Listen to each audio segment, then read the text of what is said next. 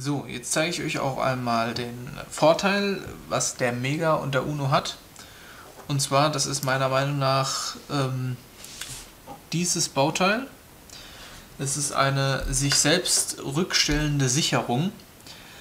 Also das ist im Prinzip einfach ein Kaltleiter, der wenn mehr als 500 mA ähm, vom USB-Anschluss gezogen werden, ähm, wird dieses Bauteil halt warm und leitet dann nicht mehr und ähm, ist im Grunde dann wie eine Sicherung, die sich halt wieder selbst zurückstellt, weil wenn man die Last ähm, vom Arduino nimmt, dann ähm, kühlt sich das Bauteil wieder ab und er funktioniert ganz normal.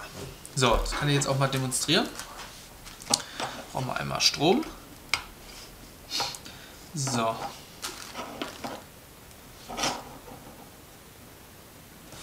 Ähm, ja, ich werde jetzt einfach mal einen Kurzschluss erzeugen und ähm, dann seht ihr, was passiert.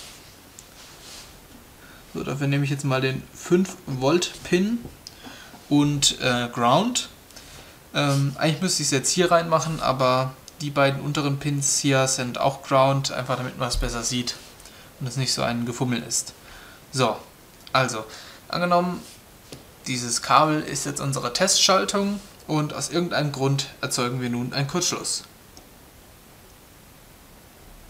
So, was ist jetzt? Arduino kaputt? Nein, natürlich nicht, da wir hier unsere rückstellende Sicherung haben.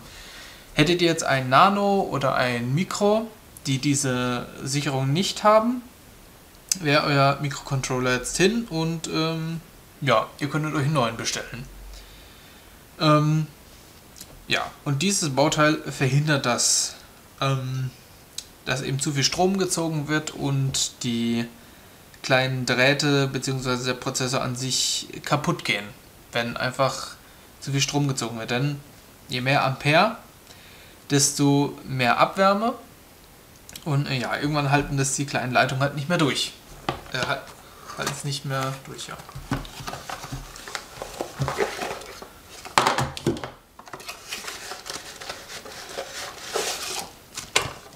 So, um das Ganze jetzt äh, mal zu demonstrieren, äh, nehme ich hier meinen Multimeter. Ähm, das benutze ich jetzt einfach als ähm, Temperaturmessgerät. Und ähm, ja, da werden wir sehen, dass dieses Bauteil Hitze entwickeln wird. So.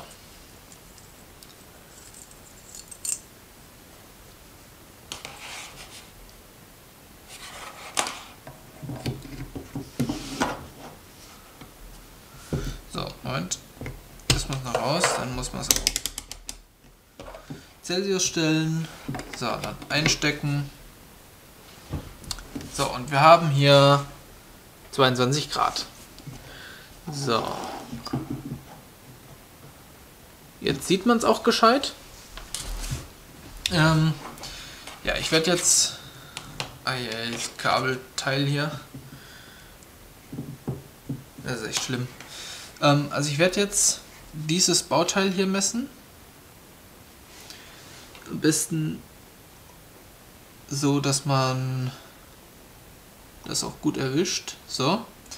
Das hat jetzt auch Raumtemperatur, also ja, ganz normal, egal wo ich hier jetzt den Messpunkt ansetze. So, jetzt simulieren wir mal einen äh, Kurzschluss. Und wie man sehen kann, das Bauteil wird heiß. Sobald ich den Kurzschluss wieder wegmache, wird es wieder kalt.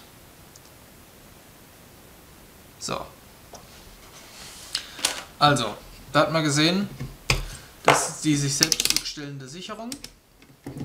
Und ähm, ja, die funktioniert auch ziemlich gut für den Arduino. Ähm, was man noch anmerken kann, ähm, so eine Art von Sicherung ist verhältnismäßig äh, sehr träge. Ähm, allerdings für den Arduino äh, langt es völlig und durch diesen Schutz kann der halt nicht kaputt gehen, wenn man einen Kurzschluss erzeugt.